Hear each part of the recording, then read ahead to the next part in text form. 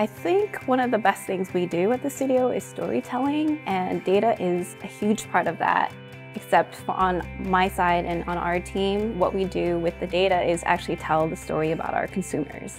What is their journey from watching our movies, becoming a fan, becoming a part of our loyalty program, and what transactions do they make, and how do they interact with us on social media?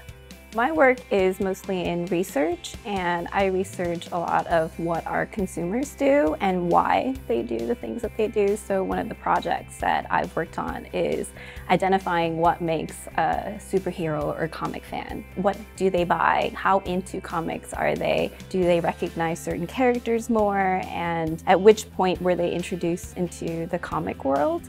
And in the end, we try and also figure out how much they're spending on buying comic items such as apparel or figures or comics, and then we are able to establish a fan value. We have people who are more into like the tech side, so they have knowledge and skills of the tech programs that we need to do things like machine learning and data science.